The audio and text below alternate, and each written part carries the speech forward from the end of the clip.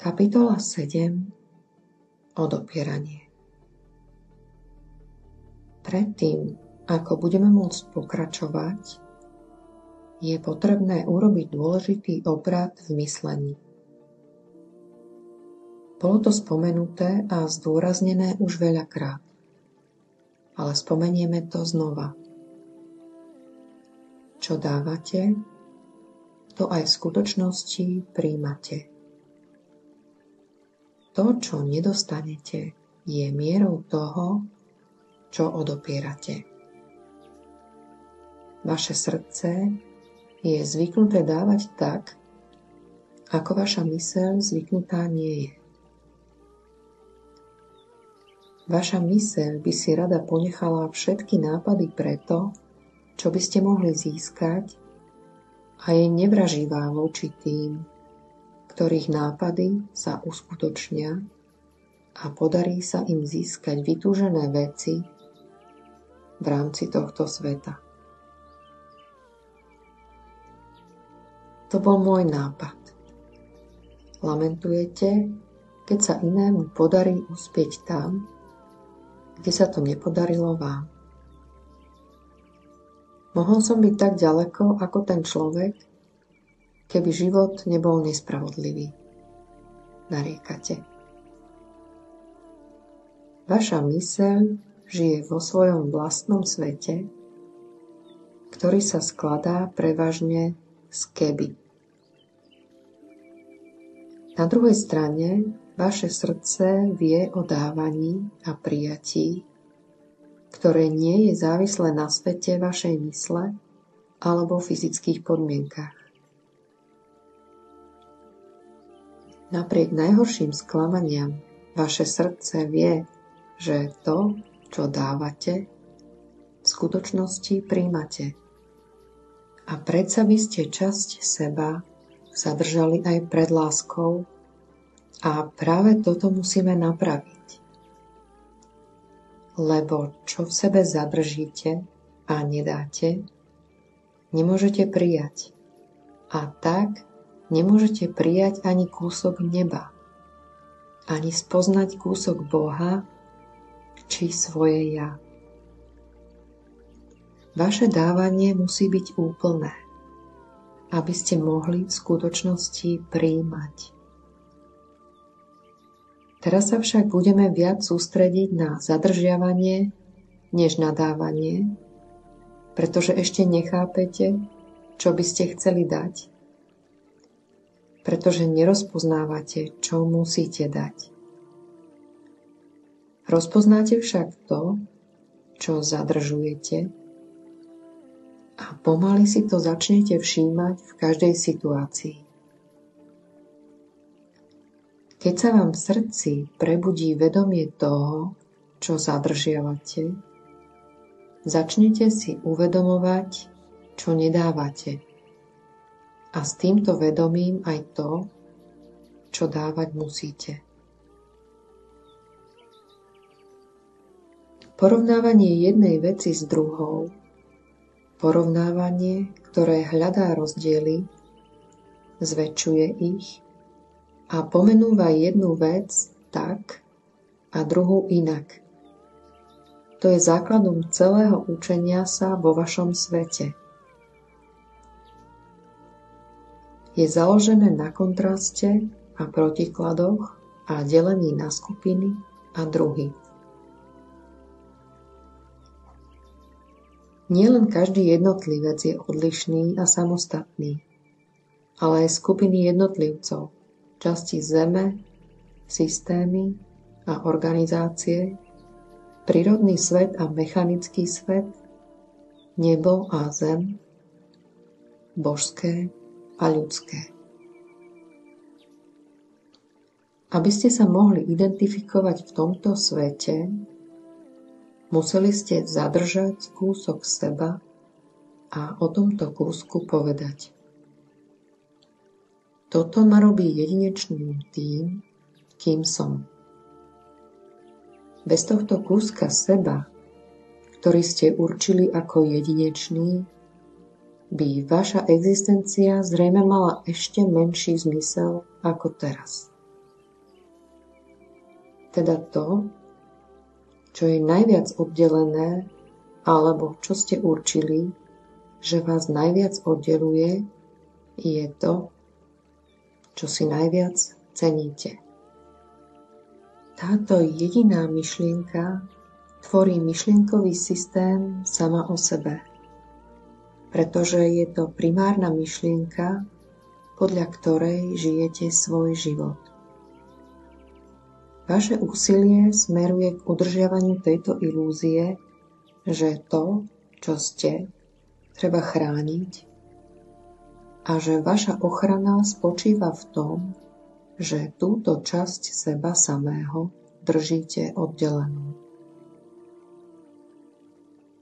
Podobne ako láska, ktorú ste vyčlenili z tohto sveta, aj táto myšlienka sa dá použiť, pretože si uvedomuje, že ste rovnako vyčlenení z tohto sveta ako láska. Krutá realita sveta si môže nárokovať na vaše telo a váš čas, ale tento kúsok seba, ktorý ste vyčlenili, si nenecháte vziať. Tento kúsok sa nachádza vo vašom srdci a práve s týmto kúskom budeme teraz pracovať. Toto je ten kúsok, ktorý nikdy nekričí na to, čo by vás chcelo poraziť. Život vnímate ako neustále odnímanie a toto, ako tvrdíte, vám nikdy nikto nevezme. Pre tých, ktorých život je ohrozený, sa to nazýva vôľa žiť. Pre tých, ktorých identita je ohrozená, sa to nazýva výkrik jednotlivca. Pre iných je to volanie po tvorbe a pre ďalších volanie po láske. Niektorí sa nevzdajú nádeje v prospech cynizmu.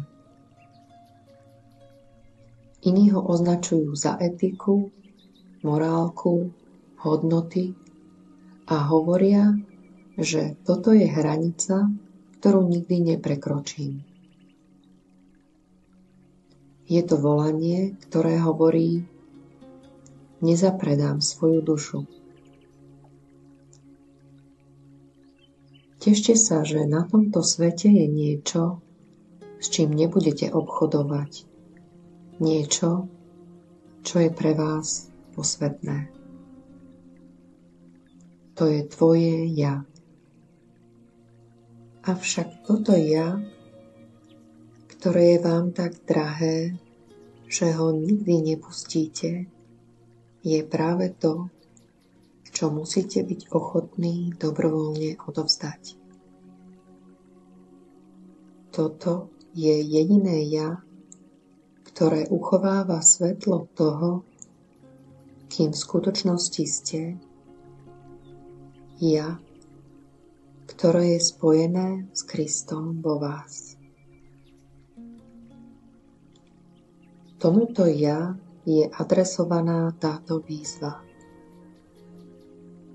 Nechajte ho zaznieť a uchovajte ho vo svojom srdci. Radosne ho držte vedľa toho, čo už obýva vaše srdce. Lásku, ktorú ste odložili a časti seba, ktorú nechcete pustiť. Keď sa naučíte, že to, čo dávate, v skutočnosti aj dostanete, uvidíte, že to, čo zostáva vo vašom srdci, je všetko, čo je hodné vášho dávania a všetko, čo by ste mali dostať.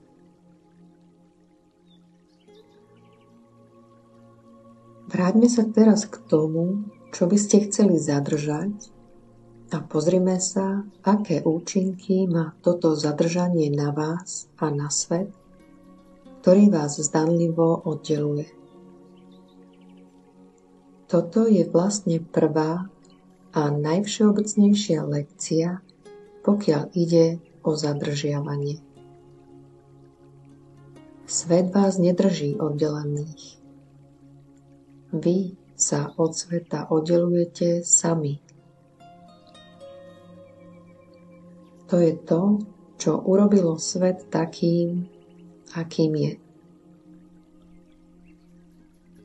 To, čo zadržiavate, umožňuje ilúzii vládnuť a zamknúť pravdu v trezore, ktorý je taký nepreniknutelný a dobre zabezpečený, že si myslíte, že ste naň zabudli. Neuvedomili ste si, že trezorom je vaše vlastné srdce, ani to, že pravda je to, čo ste sa rozhodli uchovať v bezpečí a odložiť tam. Keď uveríte, že je to tak a že to, čo dáte, pravde dostanete, otvoríte dvere tohto trezoru a všetká radosť ktorú ste pred sebou skrývali, sa vám vráti. Nastane veľká výmena, keď sa vašim srdcom preženie silný vietor a všetká láska, ktorú ste svetu odopierali, sa uvoľní.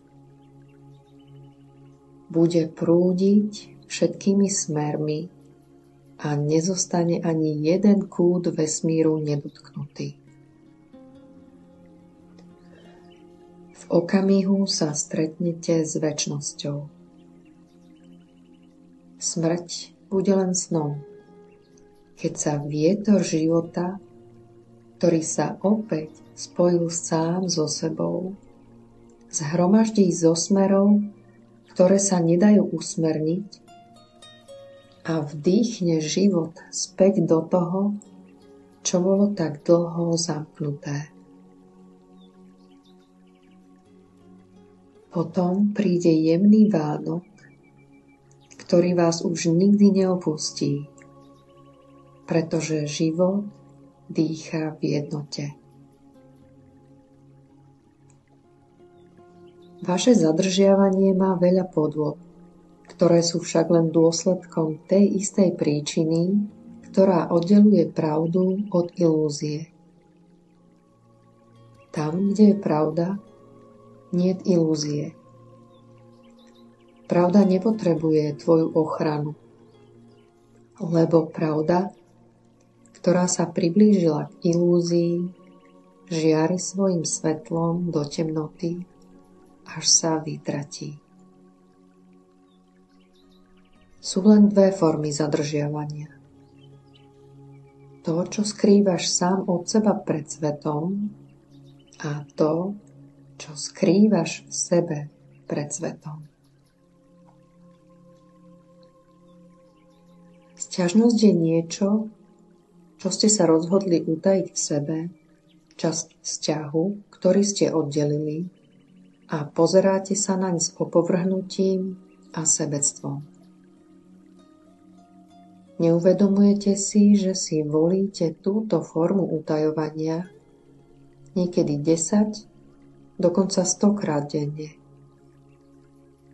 Neopetovaný telefonát, menšia dopravná zápcha, nepríjemné slová, zabudnutá povinnosť.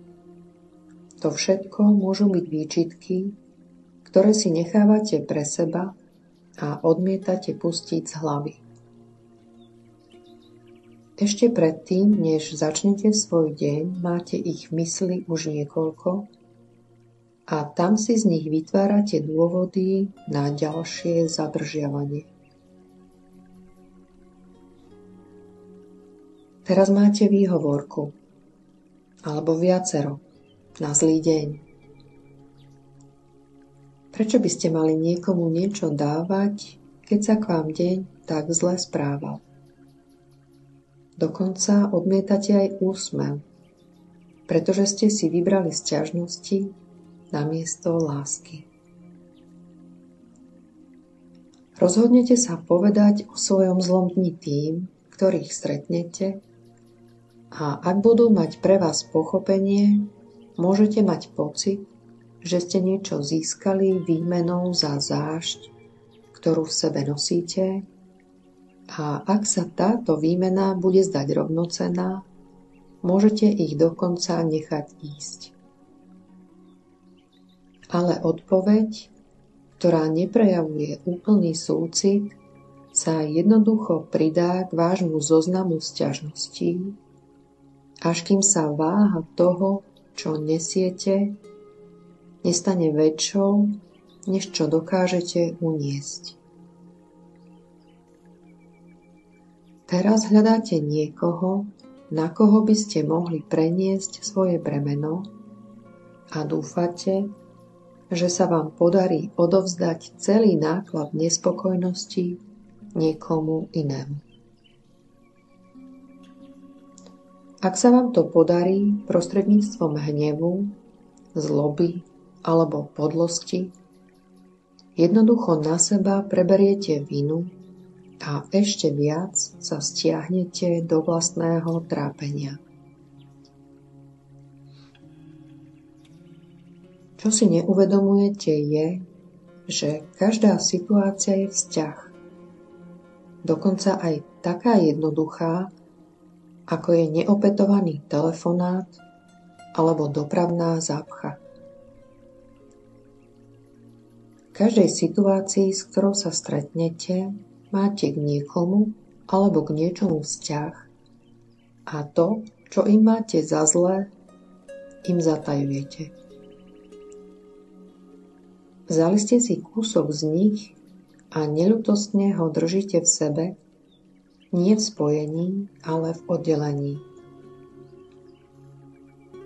Úplne nevedomí, aj vy podliehate týmto istým vrtochom svojich bratov a sestier a občas zistíte, že kúsky vás samých sú roztrúsené sem a tam. Viete, že sú pre vás stratené, ale neviete, ako k tejto strate došlo alebo ako tieto chýbajúce kúsky získať späť. Neviete, že môžete tejto strate úplne zabrániť tým, že budete jednotní. To, čo je spojené, sa nedá rozdeliť a rozptýliť, ale musí zostať v celku. To, čo je spojené, prebýva v pokoji a nepozná zármutok. To, čo je spojené, prebýva v neporušenej láske. Existuje ešte jeden spôsob, ktorým si odopierate kúsky vašich vzťahov. Toto odopieranie nemá podobu vzťažnosti, ale podobu výnimočnosti odopierate, aby ste boli výnimočnými a to vždy na úkor druhého. Všetky vaše snahy o to, aby ste boli lepší ako iní, sú ako všetko súťaženie, všetká závisť, všetká chamtivosť. Týkajú sa vašej predstavy o sebe samom, a vašom úsilí ju posilniť. Je to vaša snaha nebyť inteligentný, ale byť inteligentnejší ako váš kolega. To je vaša túžba nebyť štedrý, ale byť štedrejší ako váš príbuzný. Je to vaša túžba po bohatstve, ktoré je väčšie ako u vašich susedov príťažlivosti väčšej ako u vašich priateľov, úspechu väčšom ako u priemerného muža alebo ženy. Staviate sa nielen proti jednotlivcom, ale aj proti skupinám a národom, týmom a organizáciám, náboženstvám, susedom a členom rodiny. Ide o túžbu mať pravdu alebo kontrolu, mať viac alebo byť viac. Je to život založený na porovnávaní ilúzie s ilúziou. Vy, čo to nepovažujete za odopieranie, ale to, čo si nárokujete pre seba na úkor iných, je naozaj odopieranie a vo vašom svete neviete, ako si niečo nárokovať pre seba bez toho, aby ste to odopreli niekomu inému. Teraz ste sa postavili do pozície, ktorej môžete ostatným zatajiť svoju inteligenciu, aby z nej nemali prospech. Chcete, aby sa o vašej inteligencii vedelo a aby bola uznávaná, ale chcete, aby bola známa a uznávaná ako vaša. Ak niekto chce inteligenciu, ktorú mu môžete ponúknuť, musí za to niečo dať. To, čo požadujete, môže byť rôzne, od obdivu až po peniaze, ale všetko je to rovnaké a dopyt je tu vždy. Je to výkupné, na ktorého zaplatení trváte, podsta, o ktorej tvrdíte, že vám patrí bez ktorej odopriete to, čo máte.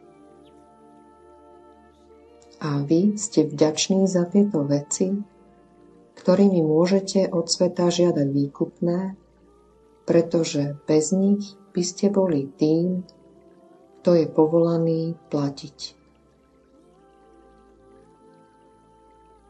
Toto sú príklady toho, čo pre seba odopierate svetu. Ale čo to, čo odopierate svetu pre seba? Obe tieto veci sú v skutočnosti veľmi podobné, pretože to, čo odopierate všetkým ostatným, čo si nechávate ako výkupné a nedávate dobrovoľne, nemáte pre seba k dispozícii. Tie nápady, ktoré si šetríte, tá kreativita, z ktorej by ste mali úžitok len vy, to bohatstvo, ktoré by ste nahromadili, tieto veci sú pre vás rovnako zbytočné, ak ich šetrite len pre seba, ako keby neexistovali. Neprinášajú vám pravdu ani šťastie. Ani si za ne nemôžete kúpiť lásku alebo úspech ktorý hľadáte. To, čo odopierate svetu, odopierate aj sebe, pretože nie ste oddelení od sveta. V každej situácii to, čo by ste chceli mať, mať nebudete, pretože si to držíte len od seba. Teraz sa musíme vrátiť k vzťahom a čo najrychlejšie opraviť všetky vaše milné predstavy, najmä tie, ktoré by z toho mohli urobiť triviálny bod alebo bod, ktorý je špecifický a nedá sa zovšeobecniť. Všetky vzťahy existujú v celistvosti. Predtým použité malé príklady vám mali pomôcť rozpoznať vzťah ako taký, vzťah ako niečo iné ako predmety, osoby alebo situácie, ktorých sa týka. Teraz musíme túto myšlienku rozšíriť. Rozšíriť svoj pohľad z konkrétneho na všeobecné je jednou z najťažších úloh učebných osnov. Je ľahké pochopiť, prečo je to tak, keď si uvedomíte, ako veľmi je vaše myslenie pripútané ku konkrétnostiam. A práve preto opäť voláme po láske a skrytom poznaní vášho srdca. Vaše srdce už vníma oveľa celistvejšie ako vaša rozdvojená myseľ. Dokonca aj váš jazyk a predstavy odrážajú túto pravdu, tento rozdiel medzi múdrosťou vášho srdca a múdrosťou vašej mysle. Vaše srdce sa možno zlomí, ako sa vravieva, ale tieto slová vyvolávajú predstavu otvoreného srdca a nie srdca rozdeleného na kúsky. Na druhej strane váš mozog je rozdelený na pravú a ľavú hemisféru. Jedna strana má jednu funkciu, druhá druhú. Hoci váš mozog a vaša mysel nie sú to isté, vaša predstava o vašej mysli a o tom, čo robí a čo nerobí, je spojená s vašou predstavou o mozgu. Túto predstavu zanechajte a sústredte sa na celistvosť svojho srdca bez ohľadu na to, ako vnímate jeho súčasný stav? Či už je zranené, krvácajúce, zlomené alebo plné, spočíva v celistvosti vo vás, v centre toho, kým ste. Práve z tohoto stredu vám pravda osvetlí cestu. Práve z tohto centra pochopíte, že vzťah existuje v celistvosti. Začali sme rozptýľovať vašu predstavu, že stojíte oddelene a osamotene ako bytosť odtrhnutá od všetkého ostatného. Vaše odpustenie všetkého, čo viedlo k tomuto nesprávnemu vnímaniu, ešte nie je úplné a ani nebude, kým vaše pochopenie nebude hlbšie ako teraz. Nemôžete sa totiž vzdať jednej reality, ktorú poznáte, bez toho, aby ste verili a mali aspoň základné pochopenie toho, čo vlastne pravda o vašej realite je. Ak nemôžete byť sami, musíte byť neustále vo vzťahu. Vzťah teda nesmie závisieť od interakcie, ako ju chápete vy. Je ľahké vidieť vzťah medzi ceruskou a vašou rukou, vašim telom a iným, činnosťami, ktoré vykonávate a účinkami, ktoré zdanlivo spôsobujú. Všetky tieto vzťahy sú založené na tom, čo vám hovoria vaše zmysly, na dôkazoch, o ktoré ste sa opierali, aby ste pochopili zmysel svojho sveta. Tí, ktorí si vytvorili závislosť od spôsobov poznania, ktoré sa neriadia priateľnými zmyslami, sú považovaní za podozrivých. A predsa akceptujete mnohé príčiny svojich pocitov od výkyvov počasia až po neviditeľné a neoveriteľné choroby.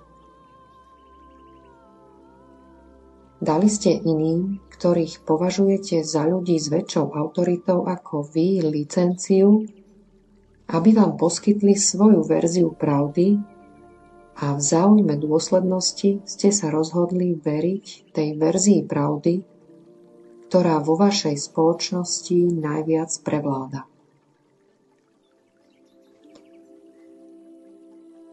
Pravda je teda na jednom mieste iná ako na druhom a dokonca sa zdá, že je v rozpore. Držíte sa známych pravd, hoci si uvedomujete ich nestálosť v čase aj mieste a tak žijete s neustálým popieraním toho, že aj to, čo je vám známe, nie je vôbec známe. Takto sa držíte jednej istoty, ktorá preniká vašou existenciou poznania, že smrť si vyžiada vás a všetkých, ktorých milujete.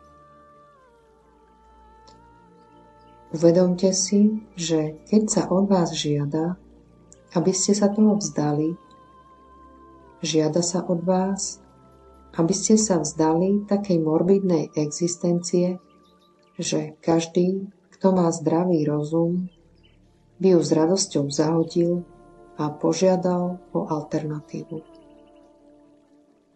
Alternatíva existuje.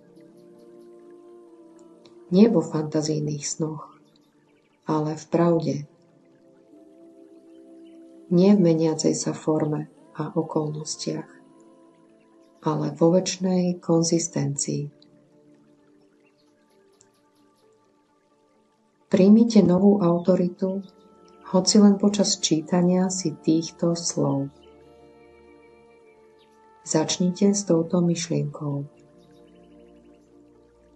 Pripustite možnosť, aby sa vášmu očakávajúcemu srdcu zjavila nová pravda. Uchovajte si v srdci myšlienku, že keď budete čítať tieto slova a keď ich dočítate, bude vám zjavená ich pravda. Dovolte svojmu srdcu, aby bolo otvorené novému druhu dôkazov o tom, čo predstavuje pravdu. Nemyslite na iné výsledky ako na svoje šťastie. A keď šťastie príde, nepopierajte ho ani jeho zdroj. Pripomente si, že keď príde láska, aby naplnila vaše srdce, nebudete popierať ju ani jej zdroj. Nemusíte veriť, že sa to stane. Len pripustiť možnosť, že sa to stane. Neobracajte sa chrbtom k nádeji, ktorá sa tu ponúka. A keď príde nový život, aby uvoľnil ten starý, nezabudnite, odkiaľ prišiel.